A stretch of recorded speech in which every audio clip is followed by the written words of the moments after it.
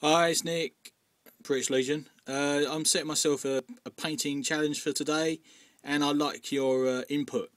Basically, I've got A, B, C, D, E figures in front of you. They're all Anima Tactics. Uh, some are sexy ladies, some, and one in the middle is a, is a, is a gentleman. So it's up to you. The first person to comment with their figure of choice, A, B, C, D, or E, I will paint today and showcase it off tonight uh, at some point. So you got a close up of a sexy chick sort of posing on a stone with a sword, but the sword's uh, somewhere else, so, so that's already. Uh, another sexy chick with, uh, she's sort of got a shield up in the air. A gentleman with a mechanical hand. I, I don't, I know the names, but I, I find it hard to pronounce them, so.